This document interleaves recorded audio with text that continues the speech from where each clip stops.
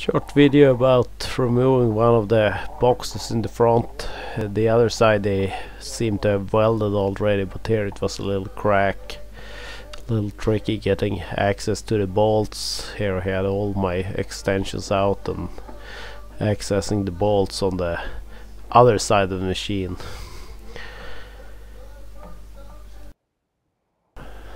And there are a total of six bolts here holding me in place. Uh, once it was a little loose put a little wood in there to have it a little more supported on the garbage can I used. Eventually everything came off. Removed it. I was gonna weld a crack here since we were, we were welding on the gate fixed in the previous movie. It was a good time here. Totally missed the video of removing the fire brain, fire suppression brain, uh, heating some and then some welding here. My dad was with me because I don't know how to weld for shit. I'm not sure how good he is, but it's better than nothing. Required some grinding.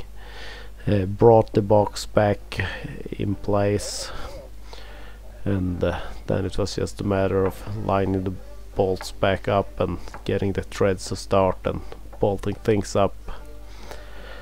Not too hard one of the easier fixes